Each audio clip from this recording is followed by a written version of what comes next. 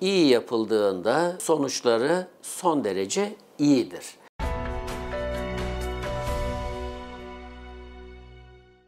Toplumda bu kadar yaygın görülmesine karşın çoğu hastamız ameliyatsız konservatif yöntemlerle tedavi olabiliyor.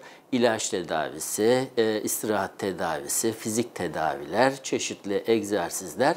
Ama eğer geriye dönüşümsüz bir sinir dokusu basısı ortaya çıkmışsa ve buna bağlı nörolojik fonksiyonlarda bozulma varsa Burada tedavi cerrahidir. Dejenere olmuş, fıtıklaşmış diskin çıkartılması ve yerine genellikle cage dediğimiz bazen protez koyabiliyoruz.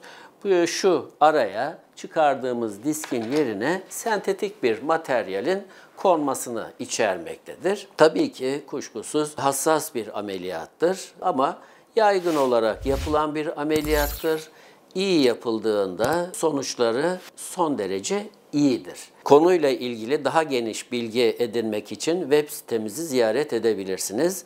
Hepinize sağlıklı günler diliyorum.